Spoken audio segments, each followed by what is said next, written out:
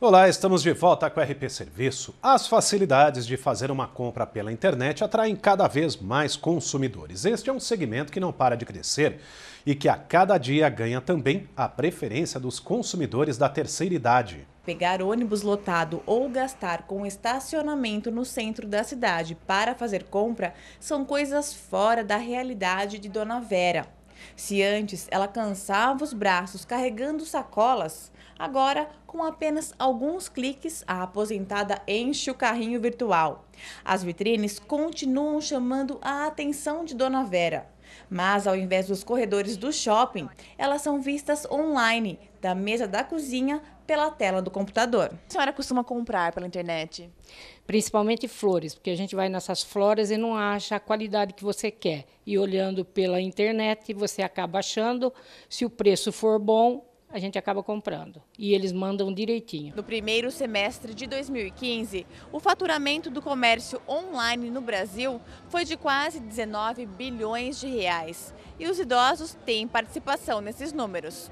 Para a faixa etária acima dos 60 anos, existem muitas vantagens nesse tipo de compra. Principalmente a gente que é da terceira idade, você não precisa sair, ficar andando, que a gente já não tem tanta força mais para andar, né?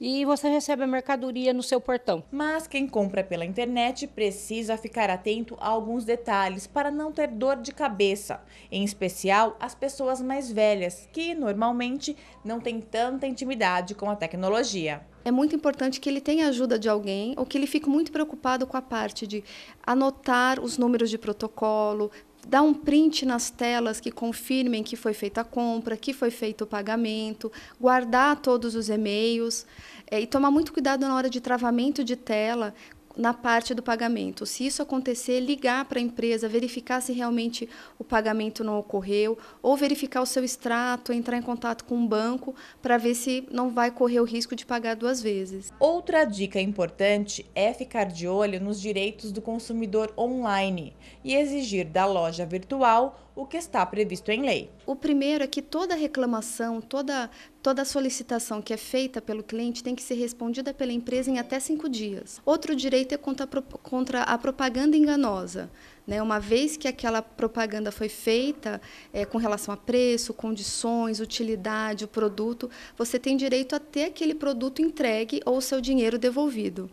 E um outro direito bastante importante é o direito de arrependimento que só existe nas compras virtuais. Se você faz compra pela internet ou pelo telefone, chegou o produto, você não gostou, achou que não se adequa à sua realidade, à sua casa, que a cor não é aquela que você queria, enfim, você tem o direito de, nos sete dias, né, a partir do momento do recebimento, você fazer a devolução. Tive uma máquina overlock que eu comprei e quando ele me mandou, era outra máquina.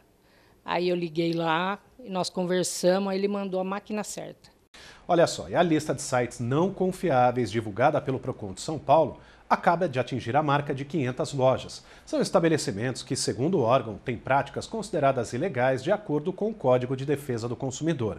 Para saber as empresas que estão na lista, é só acessar o procon.sp.gov.br. A semana terminou de uma forma bem diferente para os menores da Fundação Casa de Jundiaí. Os internos participaram de uma Paralimpíada. Uma maneira diferente de praticar esportes.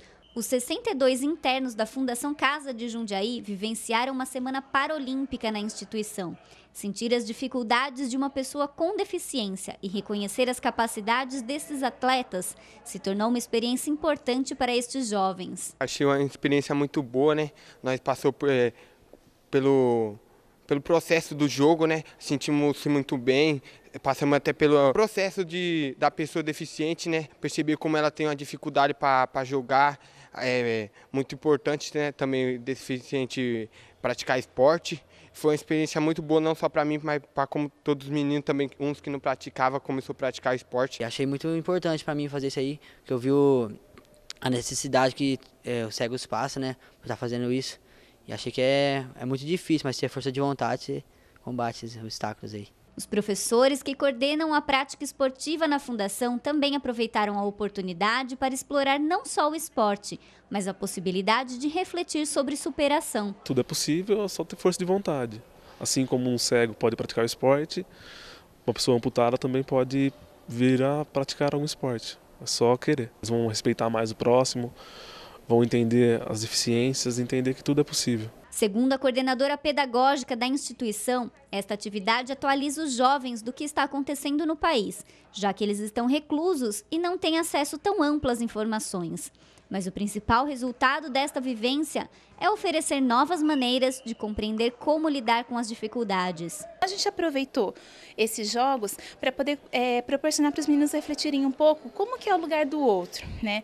O outro que tem menos possibilidades, o outro que, por exemplo, não tem uma perna, não tem um braço, mas conseguiu se virar, conseguiu se, conseguiu se tornar um atleta e mostrar para eles que é, existem várias opções na vida. Mesmo quando a gente é poupado de muitas coisas, a gente ainda consegue prosseguir. Para quem teve a chance de se colocar literalmente no lugar do outro e enfrentar suas limitações, a lição está aprendida. Tudo na vida é, um pode ter dificuldade, né? Só basta você querer para vencer elas, né, senhora?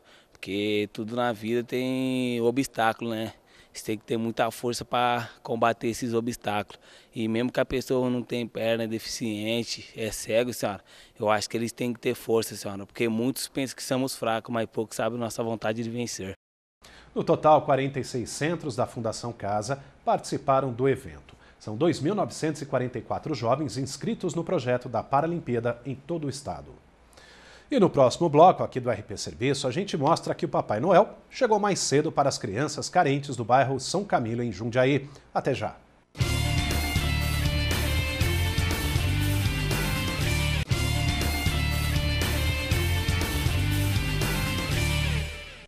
Vamos falar agora da situação climática para as cidades da nossa região para esta terça-feira. Nebulosidade, segundo a meteorologia, pode chover forte à noite. Veja os detalhes. Agora à tarde em Jundiaí, há formação de nuvens carregadas e deve chover à noite. As temperaturas ficam entre 21 e 32 graus. Já em Louveira, a máxima prevista é de 33 e a mínima de 22. Também deve chover forte à noite. E na cidade de Jarinu, nebulosidade agora à tarde com previsão de chuva forte. As temperaturas oscilam entre 21 e 31 graus. A temperatura máxima prevista para esta terça-feira na capital paulista é de 26 graus e a mínima de 20. Segundo a meteorologia, a previsão de muita nebulosidade agora à tarde e também à noite. Pode chover a qualquer hora. O final de semana foi bem diferente para as crianças do bairro São Camilo, em Jundiaí. Sábado foi dia de receber o presente antecipado de Natal. Quem conta como foi é a repórter Marília Porcari. Um Papai Noel diferente visitou as crianças do Jardim São Camilo, em Jundiaí, neste sábado. Vindo de moto e acompanhado por outros motociclistas, o bom velhinho fez sucesso e trouxe muitas alegrias aos pequenos que ganharam brinquedos. Bonita. O que, que você vai fazer agora com ela? Brincar. É bonita porque eu gostei e é muito linda. O que, que você ganhou aí? Você gostou? Bola.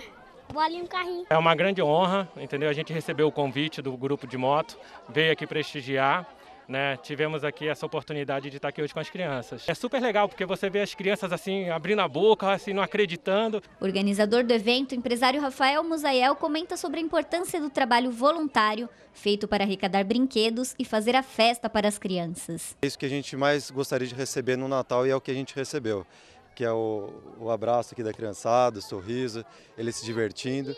Então o objetivo é esse, é vir aqui e tentar passar um pouco do Natal solidário para eles.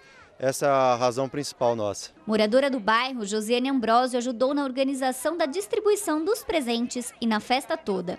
Ela destacou o quanto este gesto de carinho faz as crianças felizes. É bom, uma que elas ficam felizes, né? Porque aqui nós não tem nada. Se não é nós aqui do bairro mesmo fazer as coisas, então não, não tem nada. Então nós ajuda porque é bom, é bom ver a alegria das crianças, né? E entre tantas crianças felizes com o Papai Noel e os presentes, a Ingrid, de 11 anos, chega a emocionar quando diz o que sente em ganhar um presente. É muito legal, sabe? É uma doação que vocês fazem pra gente e a gente fica muito feliz.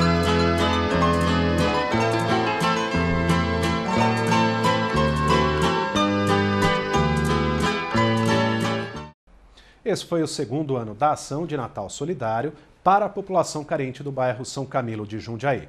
Também participaram da entrega dos presentes 25 estudantes do curso de Gestão Ambiental da Faculdade de Tecnologia de Jundiaí, a FATEC. E a gente fica por aqui. Mais informações da região você encontra durante a nossa programação e também no nosso portal rpnoticia.com. Uma ótima tarde para você.